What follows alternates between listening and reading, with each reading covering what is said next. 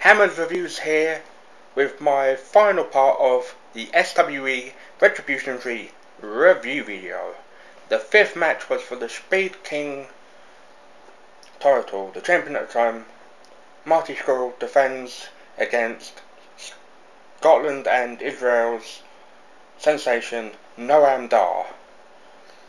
This match could have gone either way.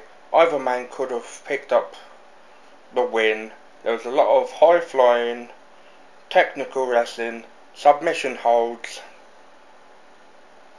and quite a lot of near falls.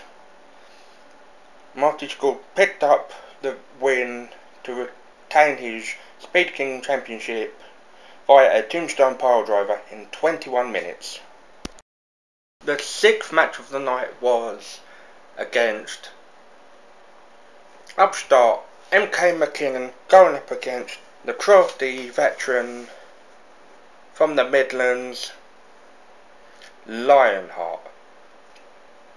This encounter was very back and forth.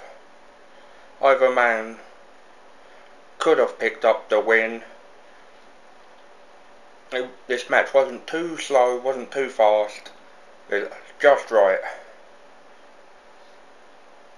M.K. McKinnon picks up the win on the veteran Lionheart via a Shining Wizard in 12 minutes. The last match of the evening was for the inaugural Southside Wrestling Tag Team titles. The first team consists of Paul Maiden and Joseph Conners, collectively known as the Predators. And the second team in this match Project Ego consisting of Martin Kirby and Chris Travis. This match was very evenly matched. Either team could have won. There was a lot of brawling in this match. The tempo was really good in this one. Not too fast, not too slow. I'd say in the middle. This match went on for 20 minutes plus. The ending of the match was very predictable with the owner of House of Pain sticking his two cents in where it wasn't wanted.